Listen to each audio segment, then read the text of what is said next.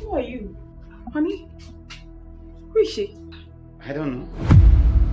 Why do I only attract poor and stingy men? Why? Listen, I believe that one day luck will shine on you.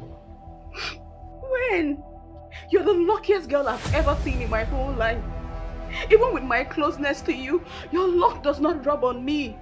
I love you so much. More than you can ever imagine. He left that day. The police came back to us with his car. They said that the car was seen parked along the highway. But all efforts to locate him is aborted.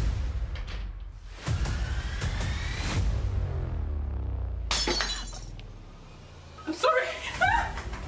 You are in my duplex. What are you doing in my house? How can I be pregnant for a madman? You stop this! punish you! You just come out of the view and you go, you're claiming to be the father of my child. You, you're something is wrong with your head. I still suggest we run a DNA test to prove me otherwise. You are very sick. I will not. Mike! You know him? See, let me tell you, if you leave Mike, I'm still jumping on him. I've told you. I will no longer get rid of this baby. I'm keeping this child. Eh? You still want to keep it for a madman? Don't say that. Don't say that he's not a madman.